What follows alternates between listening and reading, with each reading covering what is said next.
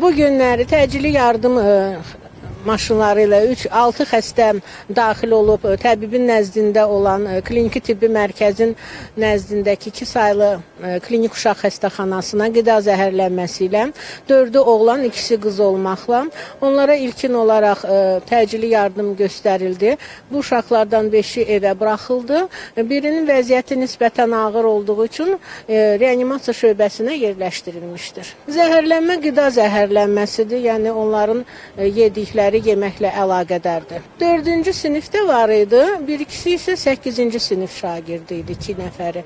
Qalanları 4-cü sinif şagirdləri idi.